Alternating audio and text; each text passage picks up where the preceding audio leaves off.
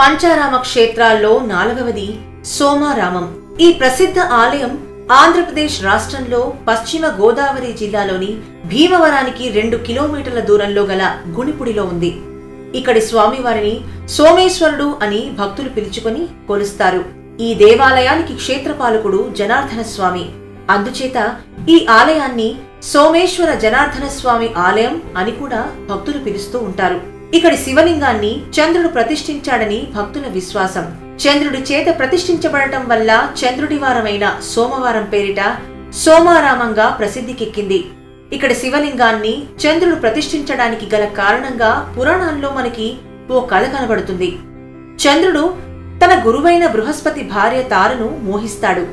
సాక్షాత్తు తల్లితో సమానమైన గురుపత్నిని మోహించడం పాపం కాబట్టి ఆ పాపానికి ప్రాయశ్చిత్తంగా చంద్రుడు ఈ శివలింగాన్ని ప్రతిష్ఠించాడని పురాణాలు చెప్తున్నాయి చాళుక్యరాజైన భీముడు ఈ ఆలయం నిర్మించాడనటానికి ఇక్కడి ప్రాకారాలు గోపురాలు సాక్ష్యాలుగా ఉన్నాయి.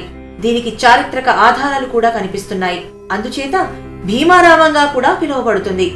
ఈ క్షేత్రంలోని చంద్ర పుష్కరిణిలో స్నానం చేస్తే సమస్త పాపాలు పోతాయని భక్తుల విశ్వాసం. ఇక్కడ శివలింగానికి ఇంకో విశేషం కూడా ఉంది.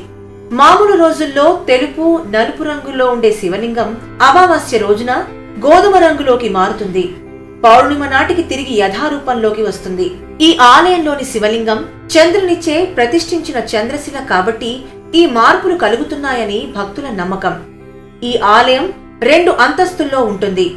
సోమేశ్వరుడు మొదటి అంతస్తులో ఉండి భక్తులు పూజలు అందుకుంటుండగా అమ్మవారైన అన్నపూర్ణాదేవి రెండవ అంతస్తులో ఉండి పూజలు అందుకుంటుంది.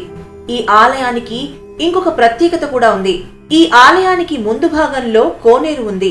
కోనేరు గట్టు రాతి స్తంభంపై ఒక నందీశ్వరుని విగ్రహం ఉంటుంది. అక్కడి నుంచి చూస్తే ఆలయంలోని లింగాకారం కనిపిస్తుంది. అదే దేవాలయం ముందున్న రాతిగట్టు నుండి చూస్తే శివలింగానికి బదులు అన్నపూర్ణాదేవి కనిపిస్తుంది. ప్రతి ఏడాది మహాశివరాత్రి సందర్భంగా స్వామివారి కళ్యాణోత్సవాలు ఐదు రోజుల పాటు జరుగుతాయి. అలాగే దేవి నవరాత్రులు కూడా ఎంతో వైభవంగా నిర్వహిస్తారు. ప్రతి సంవత్సరం పరమ పవిత్రమైన కార్తీక మాసంలో ఎంతో మంది భక్తులు వచ్చి సోమేశ్వరుణ్ణి అన్నపూర్ణాదేవిని దర్శించుకొని భక్తితో పూజలు చేసుకుంటారు. పంచారామ క్షేత్రాల్లో ఐదవది చివరిదైన కుమార భీమారామం గురించి తర్వాత వీడియోలో చూడండి. మా ఛానల్ని సబ్స్క్రైబ్ చేసుకోండి. సర్వే జన సుజినో భవంతు. లోకా సమస్త సుఖినో భవంతు. స్వస్తి.